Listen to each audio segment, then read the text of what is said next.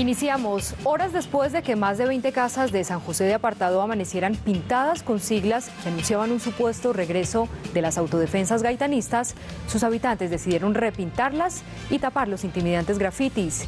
Lo hicieron no con un sencillo brochazo, sino con leyendas que demuestran que no están dispuestos a cederle de nuevo el terreno a la violencia.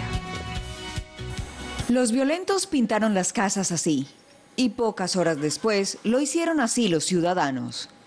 ¿Por qué hacer eso? Porque nosotros queremos paz dentro de, este corregimiento, de las comunidades, queremos paz, no queremos más zozobra. Se sobrepusieron al miedo y respondieron no con el silencio de antes, sino con esta forma de resistencia pacífica. Se decidió hacer estos dibujos como, como respuesta a eso, como demostrando que Queremos la paz. Fueron 26 las casas pintadas esta semana por quienes el alcalde de San José llama fantasmas. O sea, si hay fuerzas militares no lo ven, eh, la comunidad tampoco, porque hemos ido a preguntarle a la comunidad, pero tampoco nos dicen, solo que amanecieron los grafitis.